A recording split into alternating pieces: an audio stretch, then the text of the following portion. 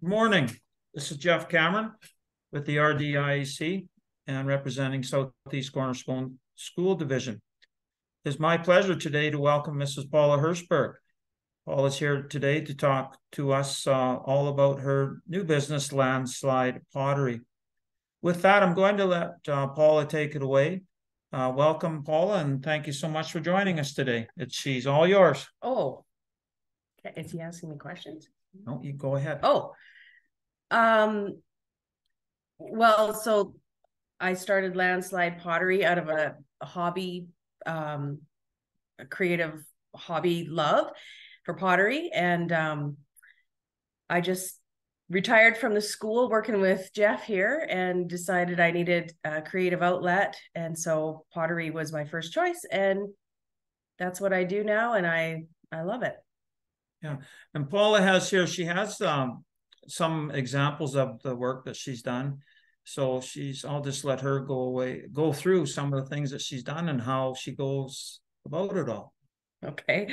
So I don't know if you're if you're not familiar with pottery, it's made from clay and um you can take a simple ball of clay from the ground from our earth. This is actually made in Medicine Hat, Alberta and it's a company that I use all the time. Um, there's lots of different clays you can get. I also use one from California.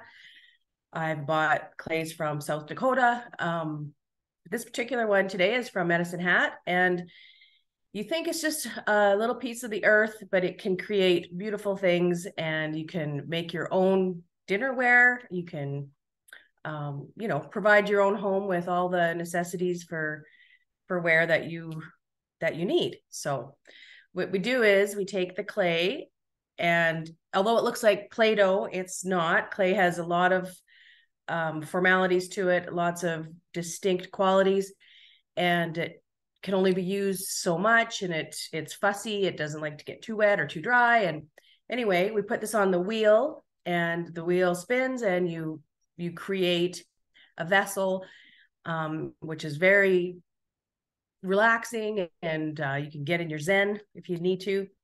And you can from that ball of clay you can create uh, different things like here's a mug that i've made.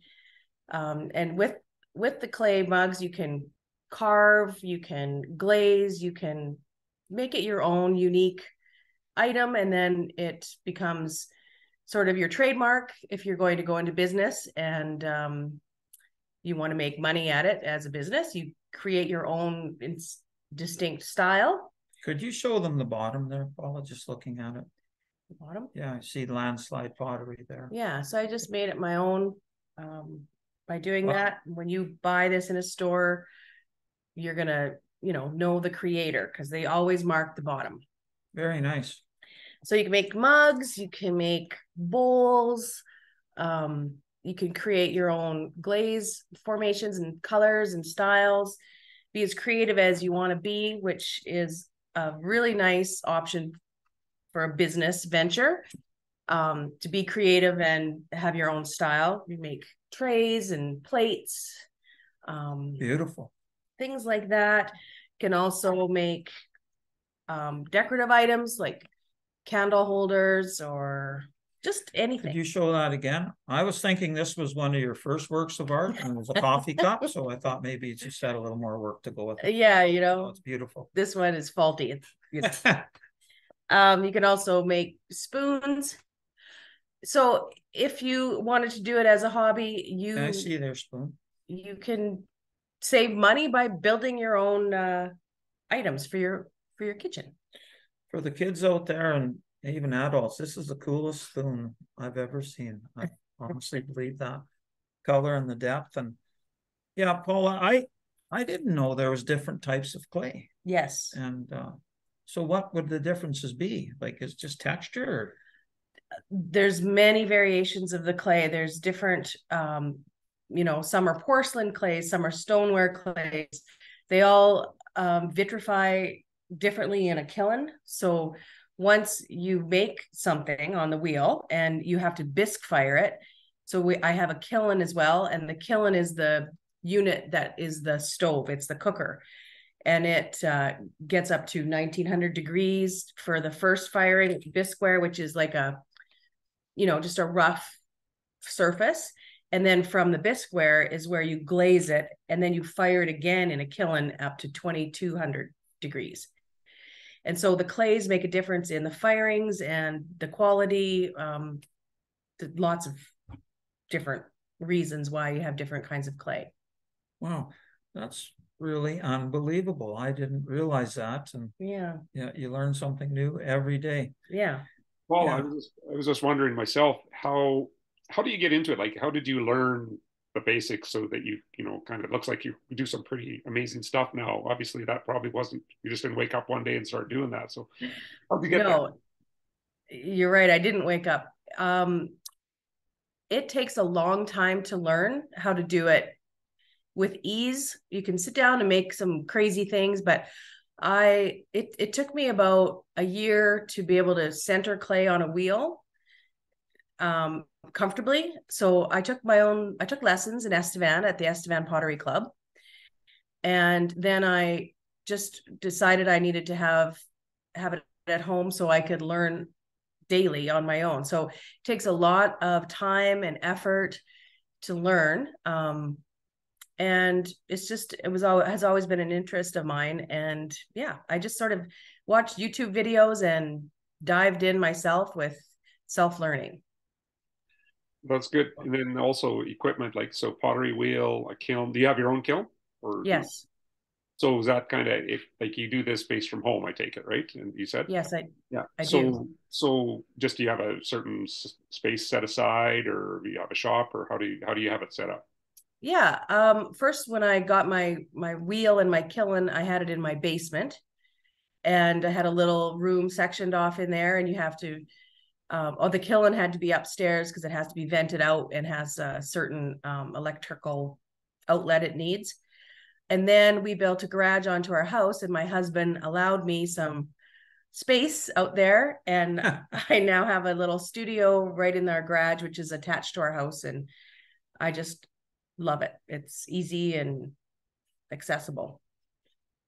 What would be the biggest advice you'd like to offer to the high school students out there?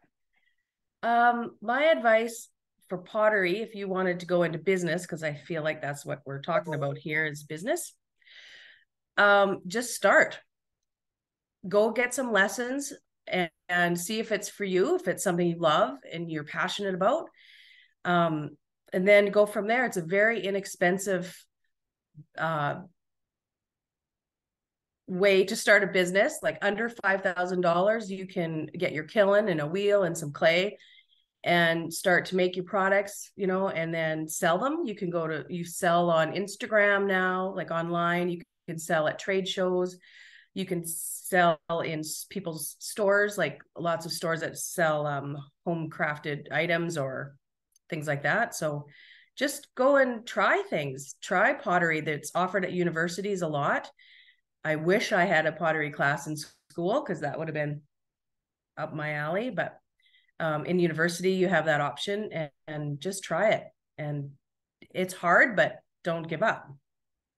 Yeah, wow, that's great advice. And you know what? Uh, I know my wife just got back from Mexico and she brought my grandkids home some toys and they were all earth made um, from the wood and just natural. And uh, I think we lose touch a little bit uh, with our past. And uh, to me, looking at those toys, one was a, a wooden top.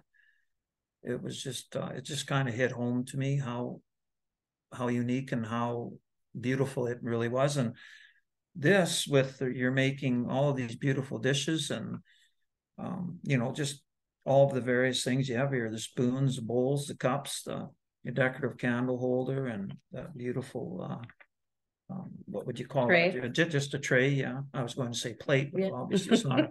yeah, but no, it's just something that, you know, the world's going at such a fast pace that we can get back a little bit, and so many things are such beautiful when they when they come from the earth. So wow, Mhm. yeah, Yeah, and, and handcrafted, like something that says somebody's personal touch goes into it. It wasn't, you know, it wasn't all, you know, factory manufactured and all done the same. Every every piece is unique, and that, that's kind of that's what's kind of neat about pottery too.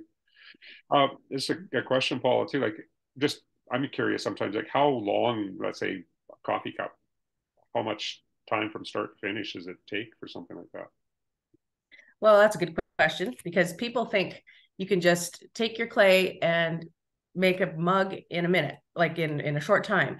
But to be honest, it takes about three weeks to get one product. Oh, could you just hold that there a little longer and uh, as you talk, I'll just hold it and you just look at the detail, like in the handle parts, beautiful and see inside there.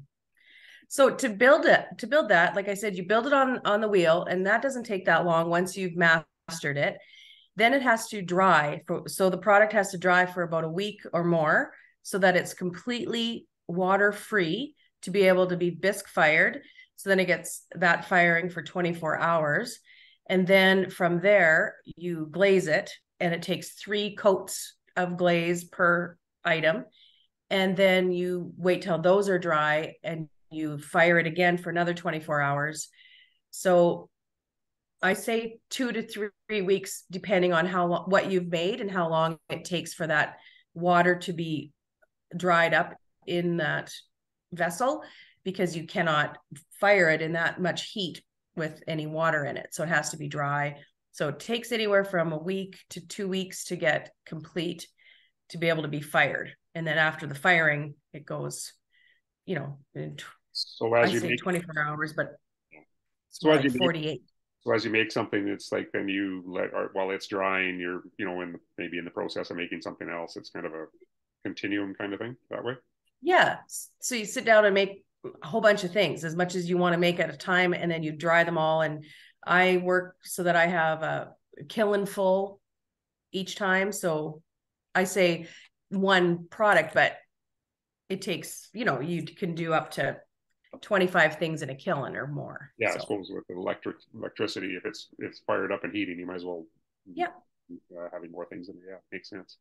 yeah. Yeah, and uh, of course you have, if you look at the lines going down, very creative and, and the blue and the brown. And I know, I just know myself, I've never been a big coffee drinker, but my wife's got me into drinking coffee and lately I like to have a brownish type coffee cup in, in the morning and I look through all the cups and I'm not sure why that is, but. uh, Because it matters what you drink your coffee out of. Okay, I never knew that. Yes, it does. Do you have any more questions, Kevin, or? Uh, no, that's that's awesome. I just think it's a it's a it's a neat industry that we don't really spend much time thinking about or knowing about, but yet uh, you see it out there and you, you you forget about the the time and love that goes into all those pieces. It's awesome. But well done. Yeah, but so on, on behalf of uh, the RDIC and Southeast Cornerstone, Mrs. Herzberg, I'd just like to thank you so much for uh, showing us what you really love, and it's a good thing to follow, kids. If you passionate about something, remember, it really doesn't feel like work because you're passionate about it and love what you're doing. Thanks again, Paula. Well, thank you for having me. Yes, take care. All right.